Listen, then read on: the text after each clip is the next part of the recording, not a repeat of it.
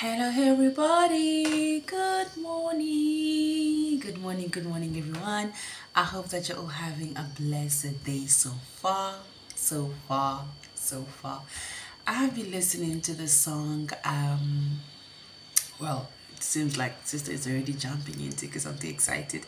Yes, if this is your first time, my name is Gloria Vilika Imbe and I welcome you to Living Victoriously with Glo.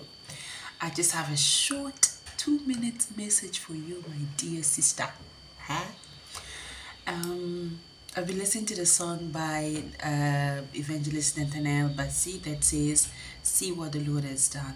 And it made me think about the journey that I've um, that I've had with God, the journey that I've had with the Most High God, His faithfulness, His grateful.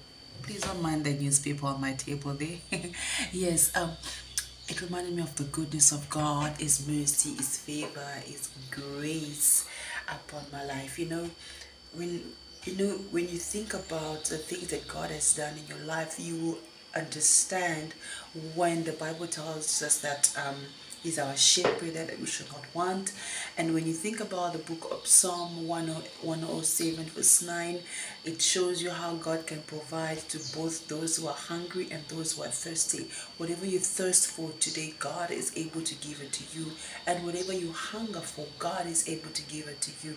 And we are living in the what, what we're living today is part of a testimony of the prayers that you did yesterday.